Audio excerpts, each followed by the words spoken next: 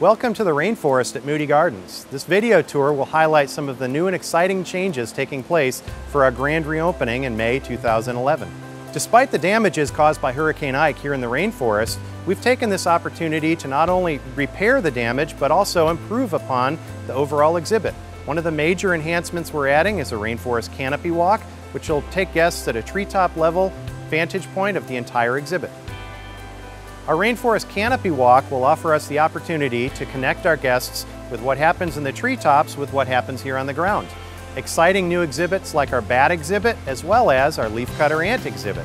The ants will transport leaf material from the canopy down to their subterranean fungus gardens.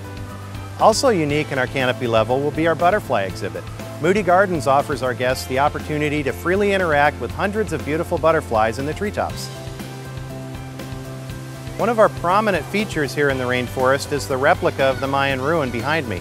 This allows us to not only focus on the living plants and animals within the rainforest, but also humans and their reliance on the natural resources and the spiritual world that exists in the rainforest.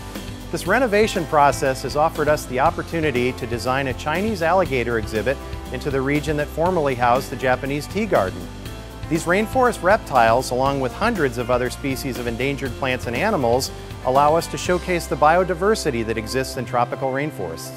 Now that you've had a sneak peek at some of the exciting new changes taking place at the rainforest at Moody Gardens, we invite you to keep up with our progress at moodygardens.org, and we certainly invite you out to come see us in May 2011.